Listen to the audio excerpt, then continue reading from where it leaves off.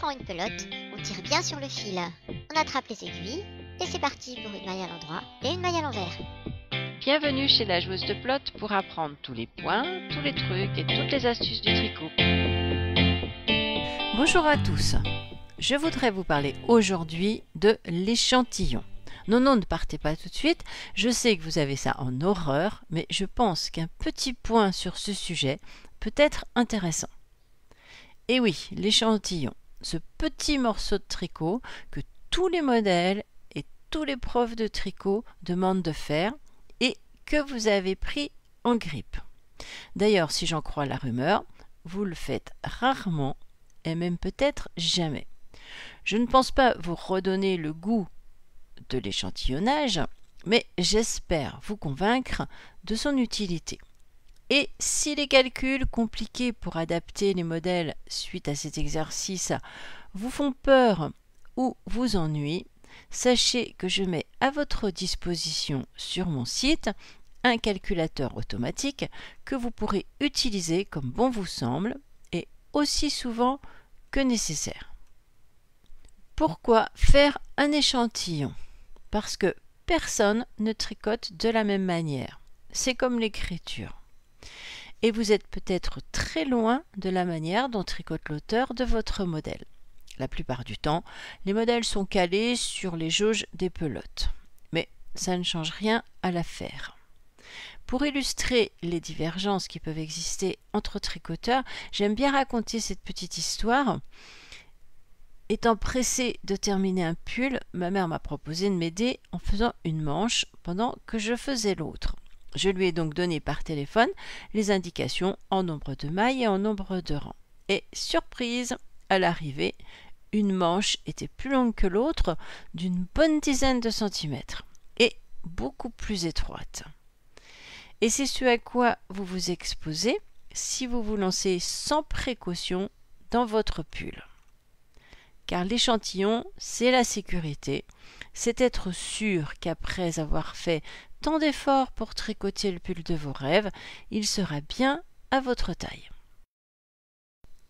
Mais pour qu'il soit utile, encore faut-il savoir faire ce fameux échantillon. Il a pour vocation première de comparer votre façon de tricoter à celle du modèle. Tout ceci est une histoire de tension et de torsion. La manière de tenir le fil, la manière de l'enrouler ou non autour d'un doigt, de tricoter fil à droite ou fil à gauche, de lâcher l'aiguille entre chaque maille ou non tous ces points vont faire que vous tirez plus ou moins fort sur votre brin de laine et que vous lui infligez ou non une torsion. Résultat, votre tricot est serré ou lâche et il est plus ou moins régulier. Comment faire l'échantillon? Tout d'abord, on lit la jauge du modèle. Par exemple ici, pour un modèle fait en laine au buisson, pour un carré de 10 cm sur 10, 19 mailles et 30 rangs. C'est différent de ce qui est écrit sur la bague de la pelote. Ici, il y a 20 mailles sur 27 rangs. Mais vous devez comparer votre tricot à celui du modèle, donc à ces dimensions-là. D'une part parce que le modèle est votre référence, et d'autre part parce que sur la pelote, l'indication est donnée pour du jersey, alors que vous allez peut-être faire des côtes, des torsades ou de la dentelle. Et ce qu'on doit savoir, c'est en tricotant nous-mêmes, avec le point qu'on va faire, combien on va avoir de rangs et de mailles pour 10 cm en largeur et 10 cm en hauteur. On va donc tricoter un carré, mais plus grand qu'il ne faut. L'idéal serait d'avoir un carré de 15 sur 15. Mais comme nous n'avons pas encore tricoté, difficile de savoir ce qu'on va obtenir. Pour la hauteur, pas de souci, on verra l'usage. Mais pour savoir avec combien de mailles démarrer cet échantillon, c'est plus difficile. Le modèle dit 10 cm, 19 mailles. On va présupposer que notre tricot y ressemble. Donc pour 15 cm, on va augmenter de la moitié. Ce nombre n'étant pas pair, on va arrondir et monter 28 mailles.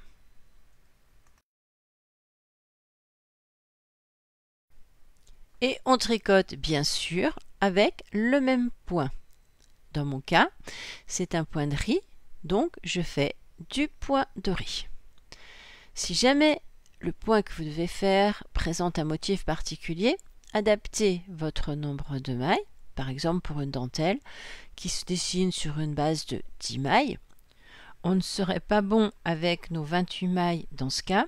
Il faudrait faire 3 motifs, donc 30 mailles, et, comme c'est de la dentelle, rajouter les mailles lisières.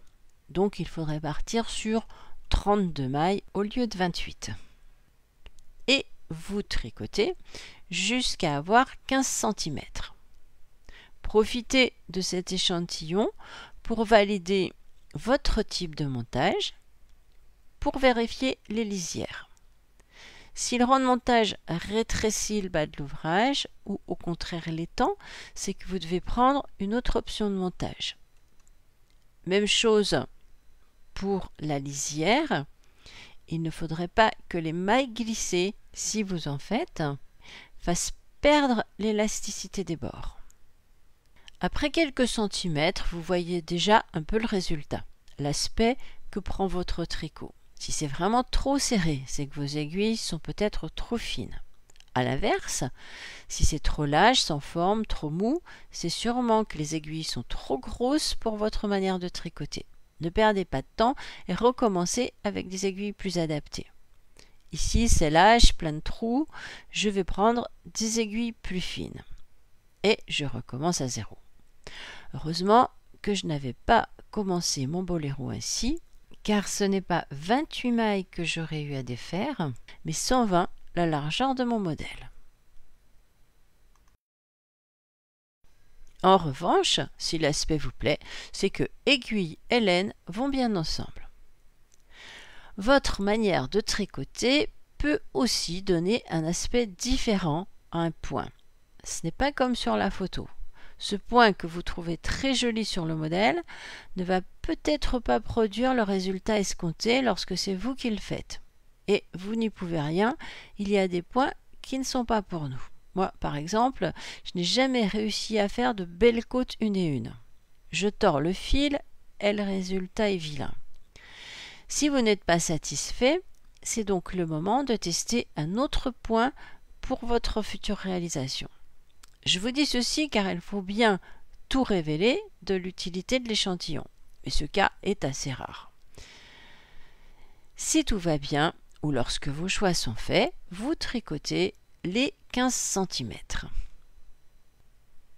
Et lorsque vous y arrivez, s'il faut terminer un motif, poursuivez de quelques rangs. Et arrêtez vos mailles. Ce qui va permettre de vérifier aussi la bonne élasticité de votre rang d'arrêt. Et voilà notre carré. Vous pensez que vient l'étape des mesures? Eh bien non, pas encore vous devez faire subir à votre échantillon le même traitement que celui que vous ferez subir à votre tricot. Si vous le mouillez et le bloquez, vous devez aussi mouiller et bloquer votre petit morceau de tissu.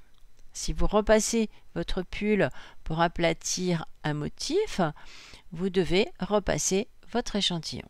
Ça prend encore un peu de temps, mais si vous ne le faites pas, votre échantillon ne sert à rien car il faut comparer ce qui est comparable. Et maintenant, on peut mesurer. On met l'échantillon bien à plat. S'il le faut, on le maintient avec des épingles. Et on marque 10 cm en largeur et 10 cm en hauteur. Le plus au centre possible. Il y a des outils pratiques qui peuvent aider. Ce genre de choses. Et vous comptez les mailles et les rangs. Il peut parfois s'avérer que le comptage soit plus facile sur l'envers, donc retournez votre échantillon. Vous voici donc avec les cotes de votre échantillon. Deux cas possibles. C'est comme sur le modèle, et là, youpi, on peut commencer en suivant à la lettre les instructions. Ou c'est différent, mais un peu trop serré ou un peu trop lâche. Vous pouvez donc jouer en changeant de taille d'aiguille. Si vous calculez moins de mailles et moins de rangs, ça veut dire que votre tricoté lâche. Il faut alors prendre des aiguilles plus fines. Si au contraire vous avez plus de mailles et de rangs, vous tricotez serré, changez pour des aiguilles plus grosses. Et au malheur, il faut refaire un échantillon. Mais si c'est différent et que votre échantillon vous convient, il faut recalculer le modèle. Ce n'est pas sorcier, mais si les maths vous ennuient, je vous propose cet outil gratuit sur mon site. Vous indiquez la taille de l'échantillon du modèle, 19 mailles et 30 rangs, la taille de votre échantillon, 20 mailles et 33 rangs, et les nombres de mailles et rangs de la pièce que vous devez tricoter. Si par exemple vous commencez par le dos et qu'il est écrit monter 120 mailles et tricoter 55 rangs, vous saisissez ces données et voici les corrections que vous devez apporter. Pour être tranquille par la suite, faites-le pour chaque partie du modèle et annotez vos modifications. Avant de clore cette vidéo, je vais aborder les erreurs à ne pas faire. Vous avez bien compris que la première erreur à ne pas faire est de tricoter un échantillon de 10 cm tout juste ou pire, plus petit. Vous avez aussi compris que avant de mesurer votre travail, il faut faire subir le même traitement de repassage ou blocage que le produit fini. Mais il y a aussi une autre erreur à ne pas faire. Il faut bien sûr que l'échantillon soit fait dans le même point, mais il faut qu'il le soit complètement. Donc, n'entourez pas votre échantillon d'une bordure en côte ou d'une bordure au point mousse. Certains vous donnent ce genre de conseils pour que les bords ne roulent pas ou pour pouvoir recycler élégamment vos échantillons en manique.